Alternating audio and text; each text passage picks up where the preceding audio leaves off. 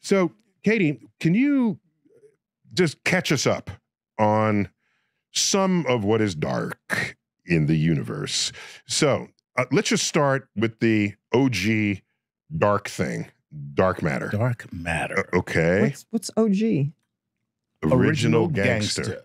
Oh, sorry. you got to get out more, okay? okay, so uh, dark matter, it's 85% of the gravity we measure in the universe. Yeah. Wow. Yeah. Eh, But we don't know what it is. Yeah. So Katie, if you do if you also still do not know what it is, what do you think it might be?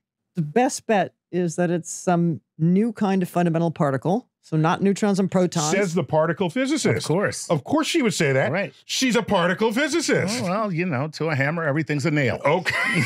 okay. no, I'm joking. Okay. That only makes sense what you said. All right.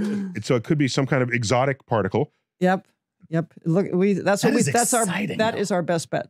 That's really exciting, though. I mean, but how? Well, I'm I'm getting way too far Wait, ahead. Aren't, aren't you, aren't you backing into that explanation? You're saying we can't measure it any other way. It must be a particle that doesn't interact with us. But it's real and it's out there, even though we can't see it, can't measure it, can't, but it has gravity. But Are we just backing? Is, is there any other theoretical reason to say that about it?